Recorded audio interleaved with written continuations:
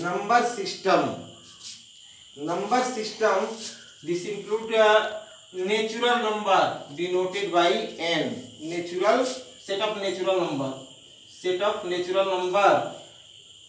1, 2, 3. Dot to infinity. The smallest natural number is 1 and largest is infinite. Second whole number denoted by W. It is set of 0, 1, 2, 3, 4, dot dot dot to infinity.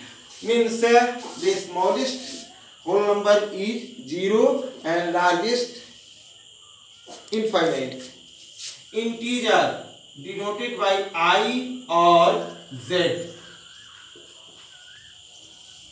It is set of all positive and negative in numbers minus infinity to dot dot dot dot minus 2 minus 3 minus 1 0 1 2 3 4 dot dot dot 2 plus infinity means uh, no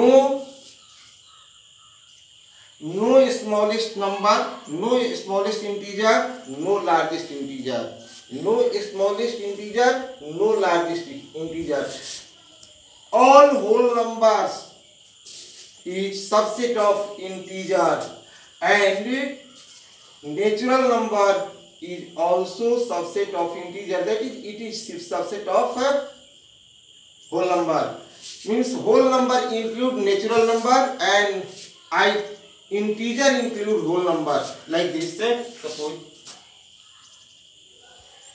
this is natural number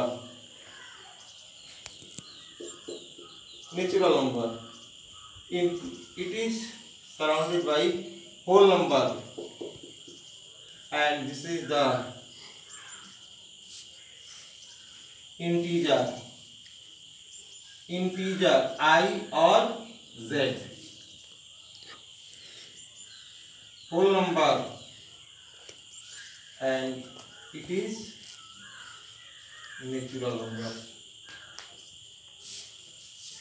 natural number is subset of whole number and whole number is subset of integer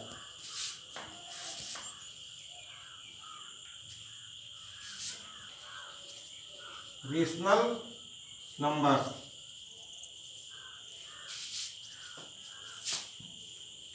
a number in the form of a by b where b is not equal to 0 and ab belong to I.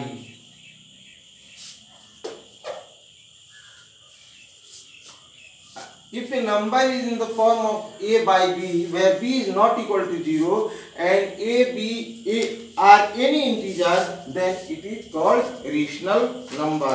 A rational number must be written in the form of a by b. a by b. There are two types of rational number if they are expressed in decimal form then they are either terminating decimal terminating terminating 3 by 5 equal to 0 0.6 1 by 2 equal to 0.5. This 1 by 2 and 3 by 5 are terminating decimal. Are terminating. They are terminating. If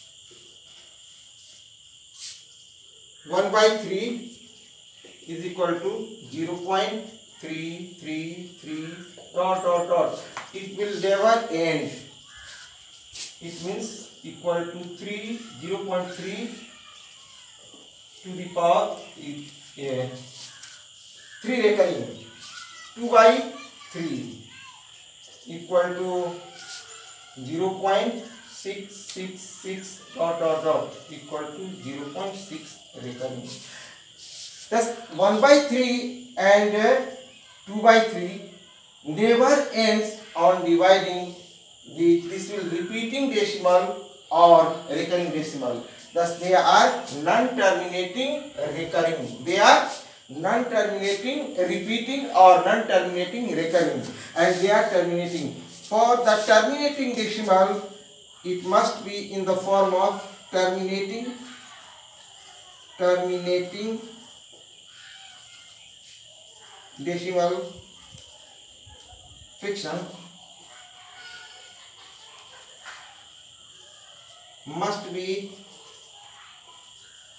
in the form of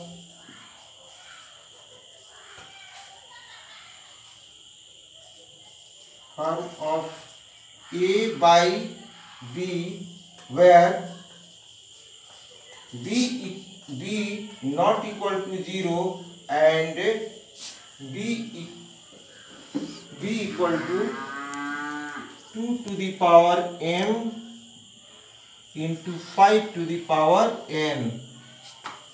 m and n, m, n belong to natural number. m and n are natural number. If the denominator are in the form of 2 to the power m into 5 to the power n, the fraction is terminating decimal, otherwise non-terminating.